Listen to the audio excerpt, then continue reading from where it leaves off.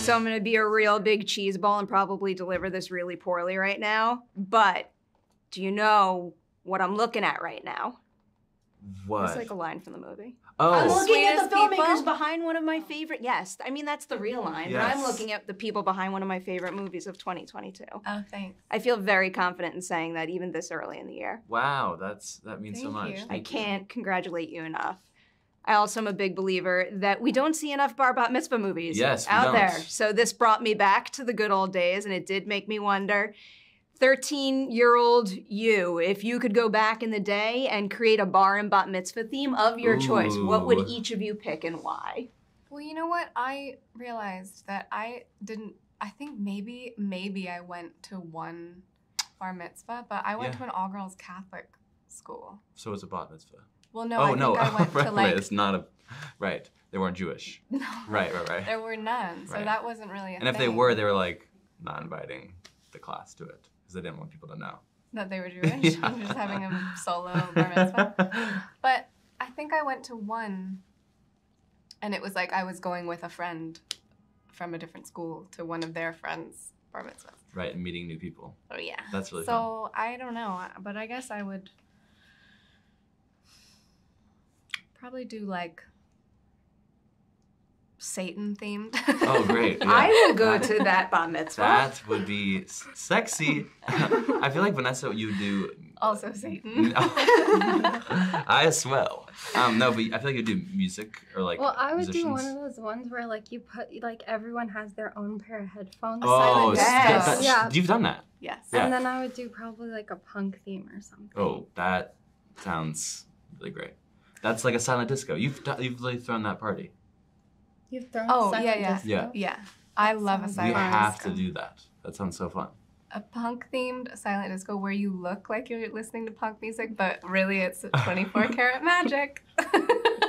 Cooper, what you going for? Uh, Bruno Mars themed. Okay, okay. Well, all three of these options are way cooler than Perry's Plaza because I was obsessed with the mall and now I Oh. will never forget it. that sounds really fun though. That's pretty I- cool. It was Yeah. fun back in the day. I might switch it up to Satan now. That's a really good idea. Right. Uh, Cooper, for you, so making your very first feature is a big deal. It's a very challenging thing to pull off, but getting your second feature off the ground can be equally as challenging. So, what would you say was the key thing you did between Shithouse and this that got Cha Cha Real Smooth the green light? I found Dakota Johnson. I got on a Zoom with her. I got on a Zoom with her producing partner, Ro Donnelly, and I told her about an idea for a movie. I told her about a title. And then Ro told Dakota there's a movie called Cha Cha Real Smooth. And she was like, all right, fine, I'll meet. I'll, I'll meet. Well, no, Like first I was like, I'm doing it, but also I'll meet him. So we met, and she was in Greece, and it was really a late night for her, and we hit it off, and we were off to the races. hmm Makes me very happy to hear that. So I was also reading that the two of you workshopped a lot of stuff on set and you wanted to have that kind of spontaneity when you're preparing scenes and working on dialogue and stuff like that. So is there any particular scene that I can see in the finished film where something changed on the spot last minute and it changed for the better? All of them. Yeah. Yeah, a lot. Most of our stuff Mm-hmm. was we just ki- either like deepened things or took out fluff stuff. And we were we were even in scenes like sometimes right before a scene we would look at the page and be like let's rewrite it. But even some like during a scene, I feel like Dakota would say something and we'd go down a bit of a different path and it uh, it was always trying to figure out what was the most alive, dangerous, funniest, but mm, still saying what we want the scene to say. Great success in that department. Vanessa, for you, I'm very curious. In real life, are you really good at bananagrams? No, I don't think I've played in four years. I found it to be the most boring game ever. Why would I ever want to play that? It was originally supposed to be Scrabble, but I think we couldn't, uh, Couldn't clear, clear, that. Yeah. Scrabble. I love bananagrams and I'm kind of good at it, and my family won't play with me anymore. Oh, I, I love sad. bananagrams. It's just a little like it's, it's kind of stressful, but It is. Yeah. It keeps you on your toes. That's the best part. Uh, Vanessa, so your first film here, and you're working with some of the best of the best. Is there anything you saw Cooper or Dakota do on set that you thought was really cool and you want to try on your next movie?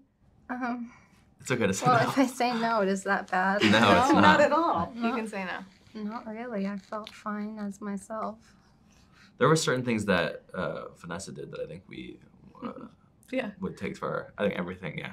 I actually think that's probably the best answer to that question I can imagine. For sure, yeah. I like the idea of believing in yourself and your own craft there.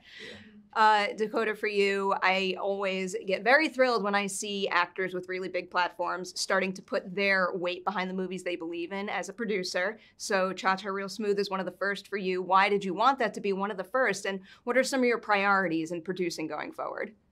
I think Cha Cha was one of the first films that basically was ready to go. Like w- w- when we when we finished writing, um, we were able to make it. It was during the pandemic. I was available. Everybody else was available. So that one was ready. The uh, my company has. I really had to check my schedule. But yeah, you was- really we really have to move some things free. around. Yeah. Jostle his schedule. Um, I felt like my company makes really specific movies and very authentic. Very, we really believe in um, telling the truth and telling stories with um, that have real grounded characters and real authentic characters in them. And this just was so much that. And um, I really love producing. I love being involved in making a movie from the beginning to the very end. Whereas as an actress, I don't have that luxury. So it's really, really amazing to be able to make my own movies now. I'm very excited for you in that department, and starting here is quite strong. You guys really accomplished something else. Before they kick me out of here, I wanted to squeeze in one Madame Web question, just because I feel like you Oh, expect of that at this point. But I, I am curious because one of the reasons why you're one of my favorite actors out there is because of the the films you've done, particularly in the last five years. Just like really bold, unique, one of a kind films that are made on a bit of a smaller scale compared to something like that. So, is there anything about your experience working on those types of films since doing something like Fifty Shades, Need for Speed, that now has changed your approach to working on a big studio feature like that? I don't know. I guess having experience um, on all tiers of films, I I can bring um, maybe some stuff from the little movies to the big movies that I I want to see in them. You know, I really love seeing like large scale films that still have heart in them, and um, We love Top Gun. we love Top Gun. Everyone loves Top Gun. Love Right. Top Gun. Yeah, everyone does. Yeah. Exactly like Top Gun. I want to make Top Gun. Tom Cruise. also, you're bringing some cats over, aren't Some you? cats Some the ma- to to Madame Web, aren't you? from Bringing... Top Gun. No, aren't you bringing some people from Top Gun? I am bringing some people. I'm from directing Madame Web. Yeah. I mean, now I'm even more. Now you have No, a great, but she- you have but great she is, like yeah. around that. no, and like uh, even people from Cha Cha and some from Am I Okay are coming on to Madame Web with me. It's cool. It's fun to be able to start creating like a real team of people that make movies. I was really excited when I thought cats meant like furry cats. But Yeah. like those cats are cool. I was like, too, I'm so bringing fine. some She's cats. bringing Zeppelin, a dog. I am bringing Zeppelin for sure, and some cats. Love to hear it. I mean it. This is one of my favorite movies of the year. Huge congratulations and thank you for your time. today. Thank you so much. Thank you.